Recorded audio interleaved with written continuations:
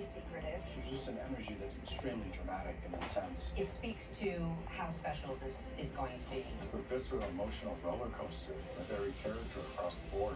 It's going to be really, really exciting for people, I think. I just feel so grateful. I can't wait for fans to see this. It brought me to tears. It's really, really good, and I think people are going to really love it.